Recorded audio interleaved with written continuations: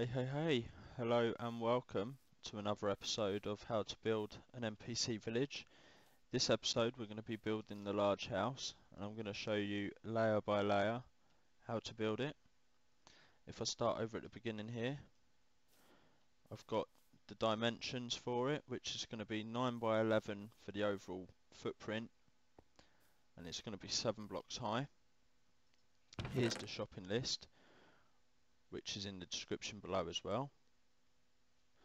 So, first things first. Now, these can be mirrored the opposite way. So, depending on if you want the door this side or the other side, depends on then where you're missing out this chunk and so on. So, you can mirror this. But for now, on this way, we're going to want to go 1, 2, 3, 4, 5, 6, 7, 8, 9 along at the front we're going to want 11 I think. 1 2 3 4 5 6 7 8 9 10 11 up the side there. We're going to want 1 2 3 4 5 6 7 along the back. Come down then. 1 2 3 4 5 and then come out to the end. I'll just come up and give you a good shot of that. So that's 9 by 11 by 7 by 6 by 3 by 5 on to the next level. So pop a door in front and carry on your stone walls up all the way around nice easy one. And on to the next level we're going to start putting some windows in. So along the long stretch you're going to want Oh. Dear, what's happened there?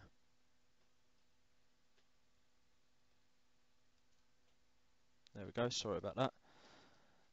We're going to want a piece of wood and a couple of glass panes with another piece of wood. And this is sort of the design for all the windows.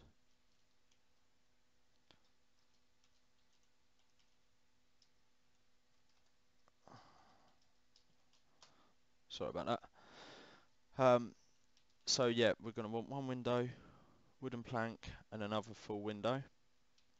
At the front, we're going to want plank, wood, window, wood, plank, and another plank the other side of the door. And we've also got two more windows on this side which copy the opposite ones there, as you can see, and a couple of planks just on this wall. Onto the next layer.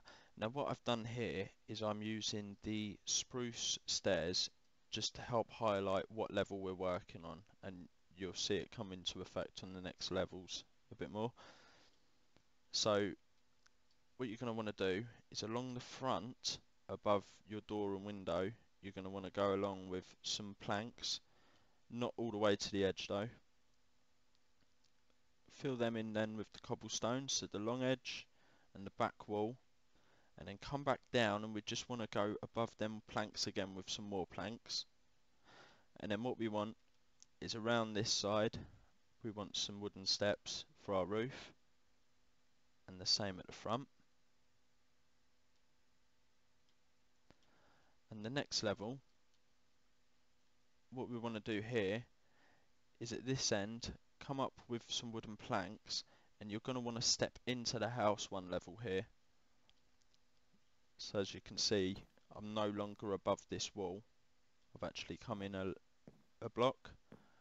And that block comes in all the way along that front up the long side. Once you get to the back wall here we've got another little window. And then we're going to want to come back down with the wooden planks. Again these are overhanging into the house that one block What we're also then going to want to do is fill in this outside with some more steps. Same at the front. And we also now have this other side to put some steps on to start the roof here.